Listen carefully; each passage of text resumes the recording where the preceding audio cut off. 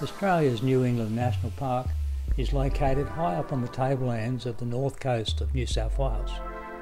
A truly beautiful and unique habitat. The mountain ranges here rise to around 1,500 metres.